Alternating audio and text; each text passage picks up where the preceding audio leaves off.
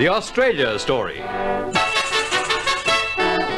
I contend that the Blue Mountains are not impassable. Mr. Blaxland obviously knows something the rest of us are unaware of. No, sir, I don't, except to think uh, the mountains can be crossed by moving along the ridges and not via the valleys, as has been attempted in the past. In 1813, Blaxland's ideas were put to the test when he and two other men, Lieutenant Lawson and William Wentworth, conquered the Great Barrier of Mountains.